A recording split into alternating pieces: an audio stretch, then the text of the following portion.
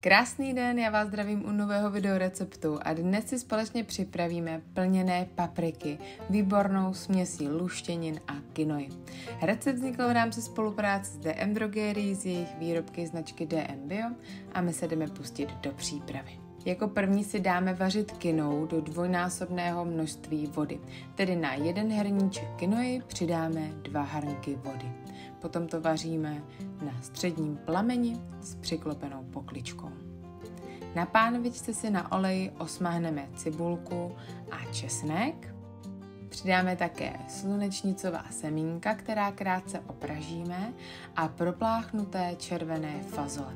Ty můžeme i trošku rozmačkat, oni to pak celý hezky propojí. Na ochucení použijeme rajčatový protlak, sůl,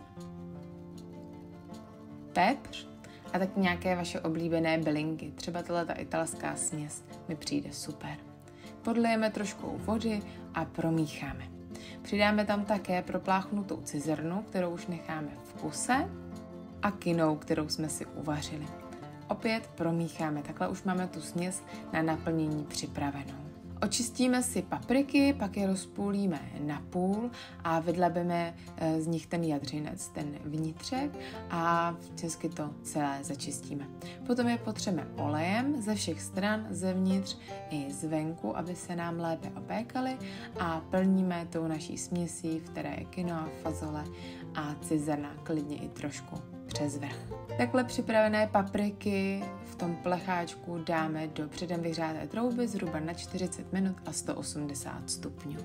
Můžeme podávat s drezinkem, třeba tenhle ten ovesný dezert můžeme ochutit solí, pepřem, jarní cibulkou nebo třeba i čili kořením a všechno to jenom vlastně stačí společně promíchat. Poté servírujeme s nějakým salátkem. Tak mi dejte vědět, až recept vyzkoušíte a mějte se moc krásně. Ahoj!